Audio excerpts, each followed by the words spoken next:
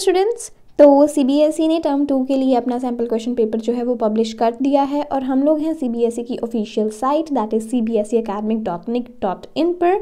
तो यहाँ पे हम लोग देखने वाले हैं साइंस क्लास टेन का term two sample question paper तो देखिए, सबसे पहले तो जो क्वेश्चन है, वो फोर्टी मार्क्स का रहेगा और जो आपको टाइम मिलने वाला है इस चीज़ को करने के लिए दैट इज़ टू आवर्स तो यहाँ पे क्या है, सबसे पहले जनरल इंस्ट्रक्शन से देखते हैं कि जो सभी क्वेश्चन है, वो कंपलसरी रहेंगे और आपके क्वेश्चन पेपर में तीन सेक्शंस होने वाले हैं, जिनमें इन टोटल फिफ्टीन क्वेश्चन होंगे।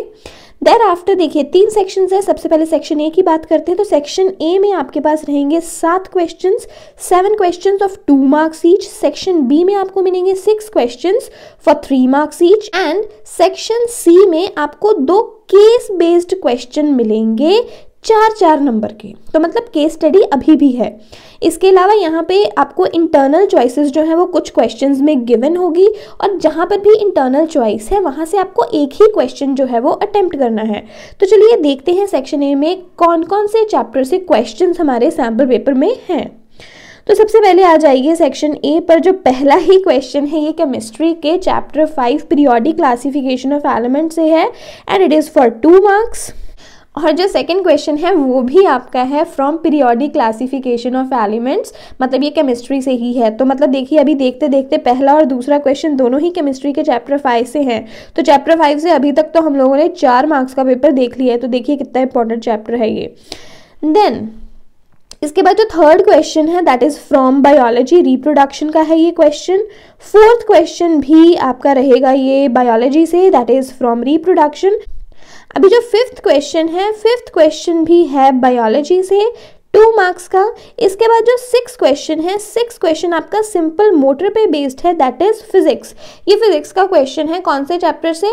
This is from magnetic effects of electric current और यहाँ पे देखिए चॉइस है तो यहाँ पे देखिए जहाँ पर आपको चॉइस मिलेगी, आपको इन दो में से एक ही क्वेश्चन को अटेम्प्ट करना है। बट जो सेवन्थ क्वेश्चन है सेवन्थ क्वेश्चन भी बायोलॉजी से है।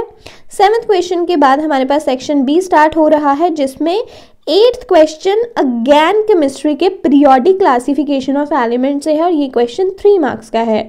इसके बाद जो नाइन्थ क्वेश्चन है ये है कार्बन कंपाउंड से और जो tenth question is from biology heredity इसके बाद जो इलेवेंथ क्वेश्चन है eleventh question is from physics physics के चैप्टर इलेक्ट्रिसिटी से है ये क्वेश्चन सेकेंड क्वेश्चन भी इलेक्ट्रिसिटी चैप्टर से है।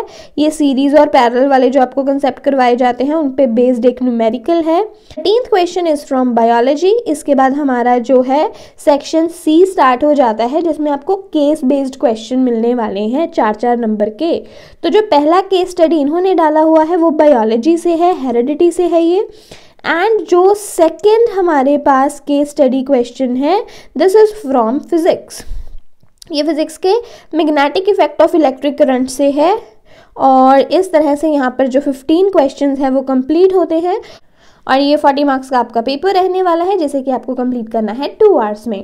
तो देखते रहिए इस चैनल को, हम लोग आगे जाकर इस पूरे क्वेश्चन पेपर को सॉल्व भी करेंगे।